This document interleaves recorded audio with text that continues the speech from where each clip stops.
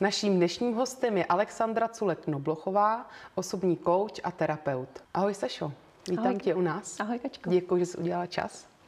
Eh, Saša je, se Sašou se známe už několik let, spolupracujeme spolu a eh, vím o ní, že se věnuje coachingu, józe a že spolupracuje i s přístrojem, který se jmenuje Bicom. A co mě hlavně na tebe zaujalo, je ten celostní přístup k člověku a vlastně k eh, tomu, jak se starat o svoje zdraví, o svoje fyzično. A eh, já bych dneska ráda eh, se vlastně dověděla něco víc o tom, jak můžeš člověku pomoct v tom, jak se starat sám o sebe. Děkuji za ten úvod. Vlastně to zaznělo.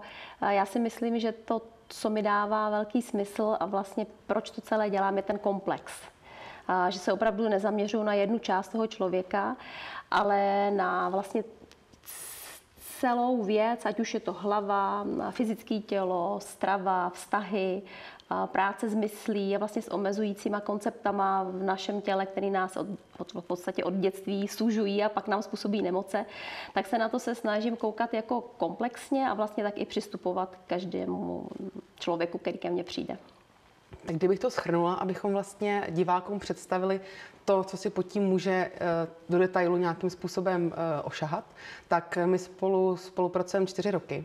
Myslíš si, že bys na úvod mohla říct něco o té naší spolupráci, o tom vlastně, jak jsem před těmi lety začínala a kam jsme se posunuli dál? Určitě, určitě ráda. Vlastně, když jsme se eh, potkali úplně poprvé, když to mohu říct eh, z pohledu toho terapeuta nebo kouče, eh, který vlastně potká člověka, kterého vůbec nezná, tak to většinou je tak, že přijde člověk a neví o věcech, které ho sužují, není si vědomém, není si vědom toho, co ho trápí, ale už vnímá, že má nějaký problém. Takže spolu jsme začali pracovat na, na hlavě, respektive na věcech, eh, které v, v egu a v mysli tebe omezovaly. Pak jsme se dostali i k tělu, k fyzickému vlastně organismu, k hmotě, která přes ty omezující koncepty té hlavy nebyla úplně funkční, jak si asi vzpomínáš. Vzpomínám se velmi dobře. a přes stravu, přes vitamíny, stopové prvky a pak už i vlastně přes přístroje Bikom a další, s kterými pracuji, jsme se postupně dostali k nějaké rovnováze zdraví a, postupnému nějakému nadhledu i většímu vědomí, který pak ten člověk v případě tebe vlastně začne si uvědomovat. Eh, já když jsem se připravovala na náš dnesní rozhovor, tak nejenom, že jsem si probídala v hlavě tu naší spolupráci, jak vlastně to postupovalo, ale taky jsem se dívala na tvoje stránky a za mě tvůj claim právě, že změna je život a uh, že uh, vlastně změnou k té emoční rovnováze a tomu celkovému zdraví, jakým způsobem můžeme dojít. A mě hlavně zajímá teď vlastně, jak si ty došla tady k tomuhle přístupu, protože si pamatuju, že jsi mi říkala, že se vlastně původně věnovala HR, což je taky mhm, práce s lidmi, uh-huh. taky nějakým způsobem nasáváš jejich příběhy a pracuješ s nimi dál. Tak mě zajímá vlastně ta cesta a, kam, jak ti to nasměrovalo až k tomu, že sedíme tady a bavíme se vlastně o tom celostním přístupu. Uh-huh, ráda řeknu. Um, tak jako vývoj každý má i já. Začala jsem, jak jsi zmínila, lidské zdroje, jsem vystudovala psychologii z části, pracovala jsem v korporaci, kde jsem měla na starosti eh, lidi, HR. A ať už z pohledu vzdělávání nebo nějakých už pak osobních růstů a moc se mi to líbilo. A zužitkovávala jsem své vzdělání tam a postupem času jsem přicházela na to, že vždycky kousek nějak jakoby chybí mně že mi nestačí koučovat a zjišťovat, jak být nejefektivnější, že vlastně tam něco schází, tak jsem přidala vždycky díleček, až jsem vlastně, samozřejmě jsem pak studovala další věci, až jsem vlastně přišla na to, že jedině, co funguje mně, je určitý komplex, že musím přidat hlavu, tělo, stravu, vztahy, dětství, nějaký celý pohled vlastně na toho člověka jako takového. Takže jsem eh, si nazbírala vlastně zkušenosti, mm, ať už v korporaci nebo v knihách, nebo od starších jako kolegů i ze zahraničí. A pak jsem se rozhodla, že to vlastně začnu mm, si na sebe podnikat. A tak jsem vlastně začala s tím prvním komplexním nějakým přístupem přes koučování, ale už jsem vlastně měla tu cestičku toho komplexu. Vnímám teda správně, že ta unikátnost je v v tobě spočívá nebo v tvém přístupu, v tom, že jsi komplexní a když k tobě přijde člověk, který vlastně vůbec neví o té tvojí práci nic, je vlastně like, jenom přijde s nějakým problémem nebo že cítí, že něco potřebuje ve svém životě změnit, ať se to týká psychiky nebo ať se to týká nějaký bolesti, kterou právě prožívá, myslím, v té fyzické rovině, tak eh, vlastně eh, ty, jak, jak to vlastně probíhá? Nebo jak se máme představit, že přijdeme a řekneme dobrý den, eh, tady mě bolí koleno a ty řekneš OK, tak rengen to nebude, to, co tady provedu, tak jak si to můžu představit?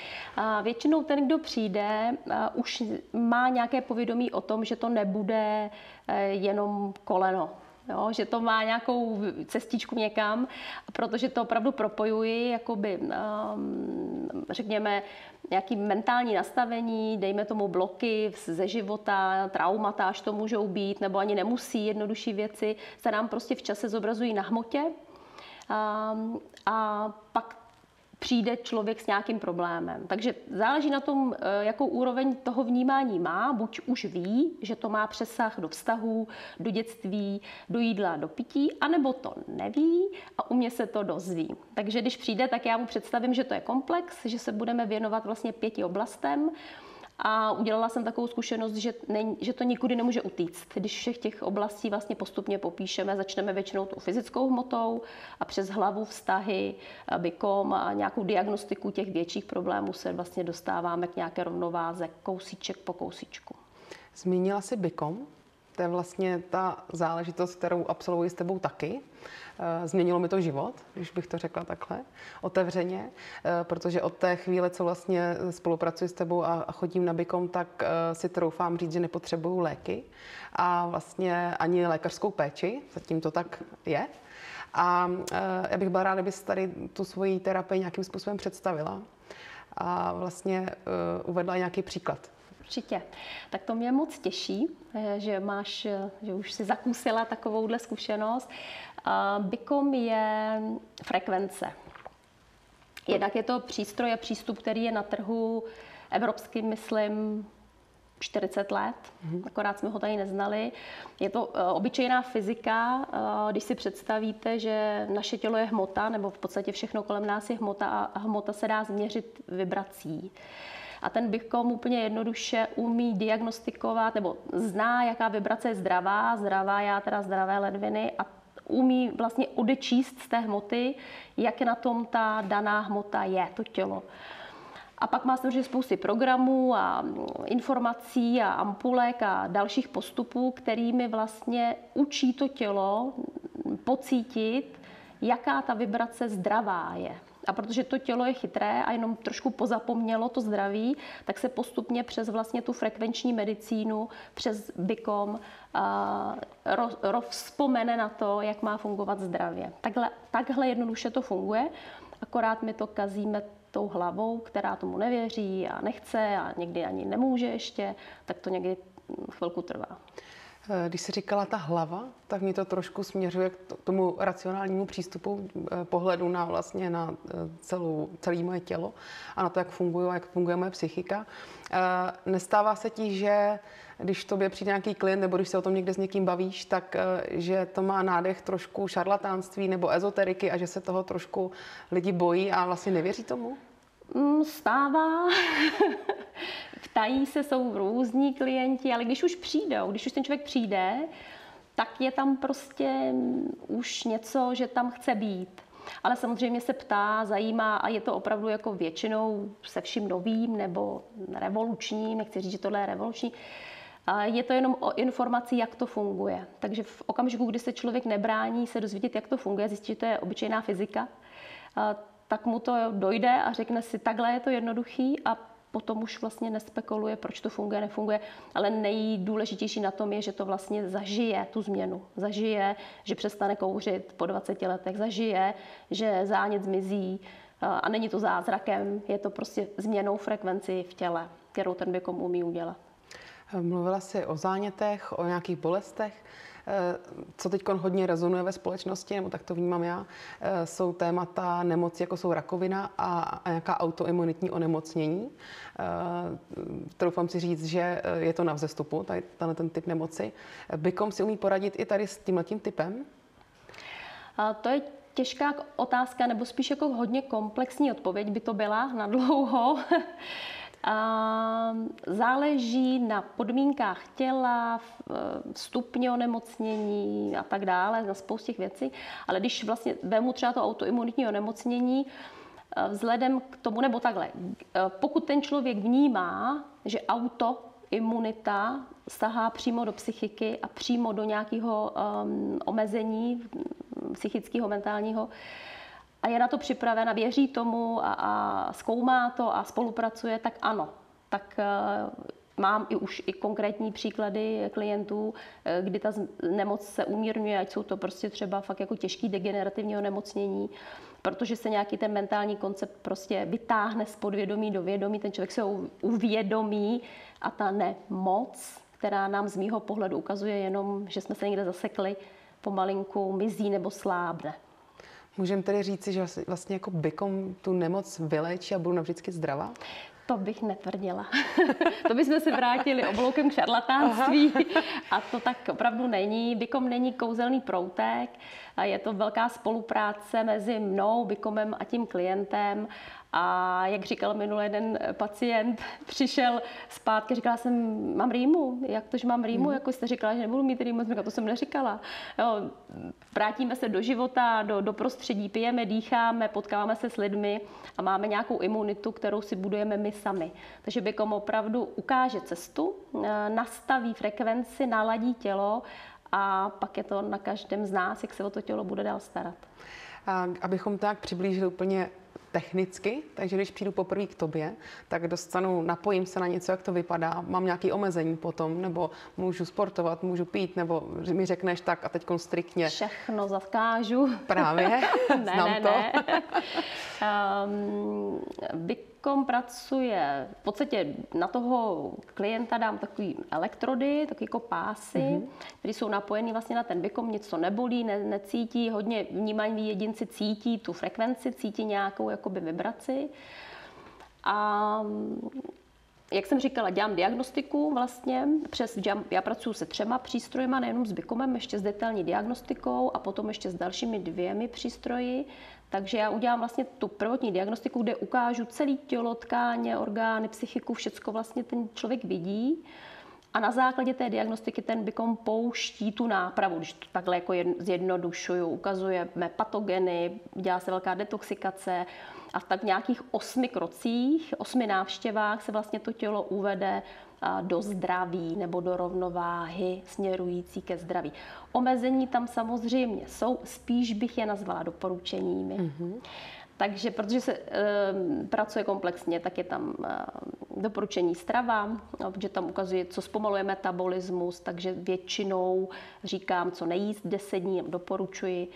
Um, pití alkohol se tři dny po bykomu nepije, Ideálně pak dál se nepije, samozřejmě se všem nelíbí. To mě neříkej.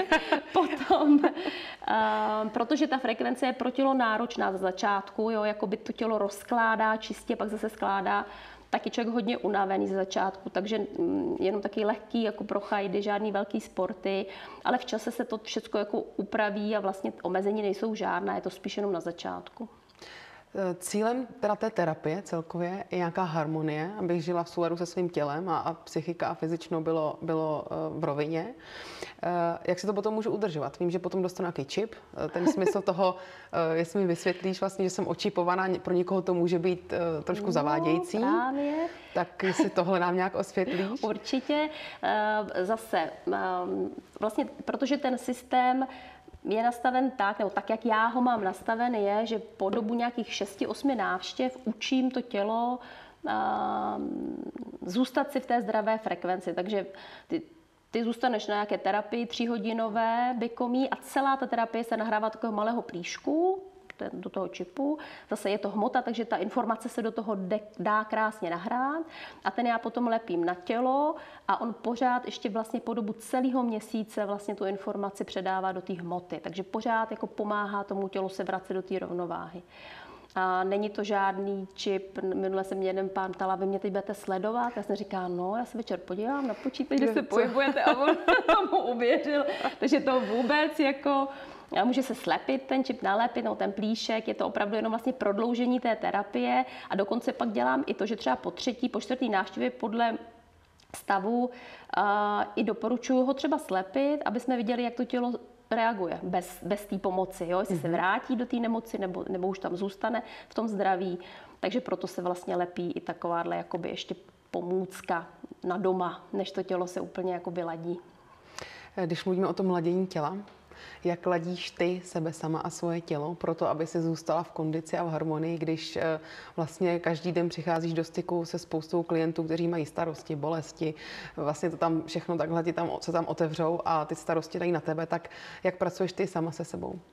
Stejným způsobem jako s klienty pracuju s těmi přístroji, takže používám i na sebe, na svou celou rodinu. Manžel mi klade často tuhle otázku, abych, nebo otázku spíš říká, abych nemohl dělat tuhle práci, to bych skočil z mostu, kdybych poslouchal všechny ty příběhy. Takže jako každý si myslím terapeut, ty příběhy se tě netknou, nesmí se tě dotknout. To nejsou tvoje příběhy, to jsou jejich příběhy. A já jsem spíš jako takový průvodce, poslouchám, kladu otázky aby si na to ten člověk přišel sám, pokud mm-hmm. na to už má vlastně nějaký vědomí. A jak pracuju, no strava, půsty, pití, voda, yoga, práce s hlavou, s myšlenkama, to, co pak učím i klienty. To, co se naučila i mě? No, já nevím, snad. Určitě moc ti za to děkuju. Stejně tak eh, přesně yoga, eh, strava, všechno jsem víceméně jako změnila. A eh, děkuji ti za to, že jsi přišla dneska k nám do studia, že jsi udělala čas a že jsi předala část svých zkušeností k nám dál. Já děkuji za pozvání a budu všem držet palce, aby byli zdraví a na cestě k harmonii se jim dařilo. Naším dnešním hostem byla Alexandra Culek-Noblochová, osobní kouč a terapeut.